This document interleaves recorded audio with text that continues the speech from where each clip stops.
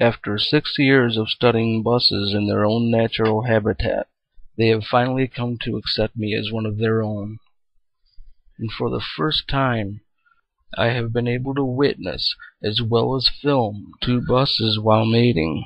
Though the male may look clumsy, I assure you it's a delicate situation, for his sheer weight alone could crush and kill the female at any moment if he is not careful.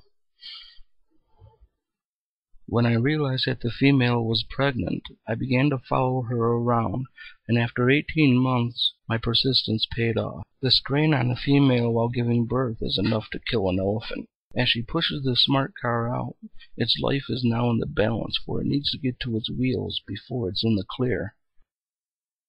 As always, the release of the placenta is the ugliest part of the birth. The smart car soon becomes a short bus and as it must fend for itself, it mostly preys upon the mentally challenged. In the modern day there seems to be an endless supply of food. Soon that smart bus grows into a school bus. It then moves from the mentally challenged to the slightly more intelligent but still very naive modern day teens.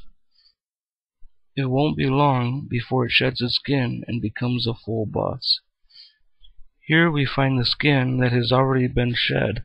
The now full-sized bus is ready to prey on any adult who may venture within its reach. And there he goes now, in search of a mate, to start the cycle all over once again.